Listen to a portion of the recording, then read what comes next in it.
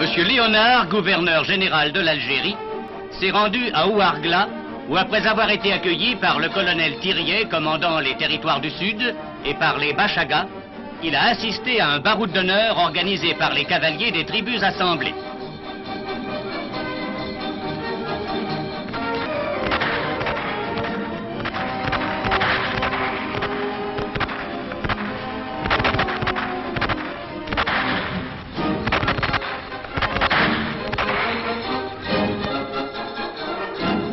Un peu plus tard, au Hogar, le gouverneur général décorait l'aménocal des Touaregs, le bey Agaklamouk, qui lui présentait une fantasia digne des glorieuses traditions militaires du peuple targui.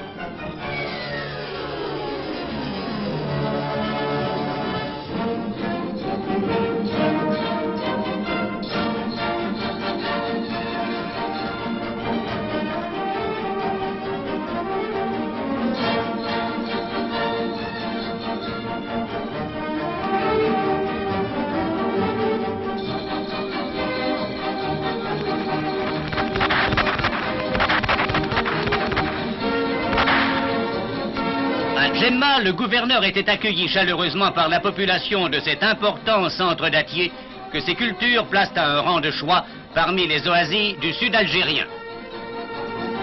Et la visite du gouverneur général devait se terminer par un pèlerinage sur la tombe du père de Foucault, héros et martyr du Hogar.